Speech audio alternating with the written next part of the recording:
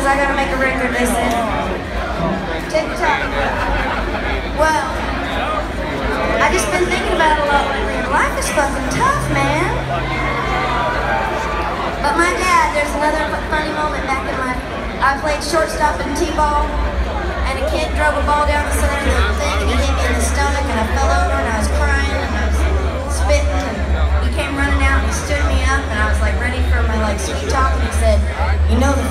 don't raise no pussies." So, so I wrote a song called "Try a Little Harder" because that's the only advice I ever get if I call home bitchy in the morning. It's hadn't happened in a very long time, by the way. I grew up alone. You learn the hard way on that. You ready? All right.